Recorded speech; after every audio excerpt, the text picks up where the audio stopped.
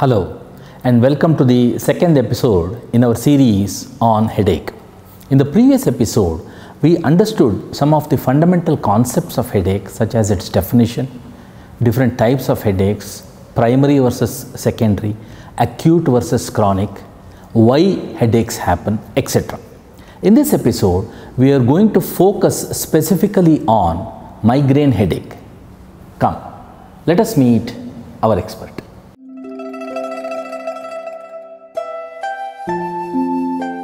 Episodes of moderate to severe intensity headache, which will be throbbing or pulsating in nature, which occurs on one half of the head, usually associated with nausea and vomiting, are typical migraine headaches. They will usually last for 4 to 72 hours.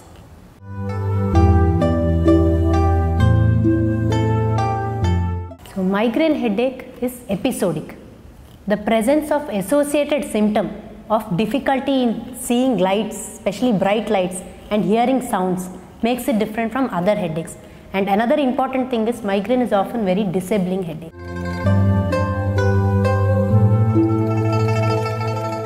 Yes, migraine affects brain function. A person having migraine will find it difficult to do his household work as well as his professional duties.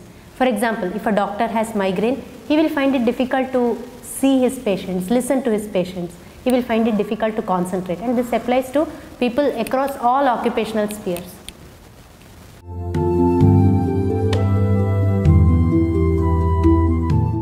Women have migraine more commonly than men, and migraine usually occurs between the age of 18 to 44 years. Now, migraine can be caused both due to genetic and environmental factors, and family history of migraine is very common. For example, when a person comes to me with headache typical of a migraine, I always ask, is there a family member who also suffers from similar headaches? So, family history of migraine is also very common.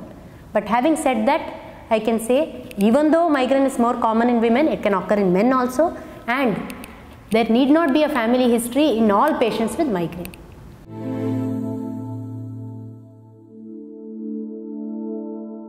Migraine is treatable but not always curable. But the good news is that with age, that is, as the age increases, migraines usually become less frequent and less severe. This concludes the second episode in our series on headache. In this episode, we understood the concept of migraine headache, how this is different from other kinds of headaches. We will be back with our next episode. Namaste.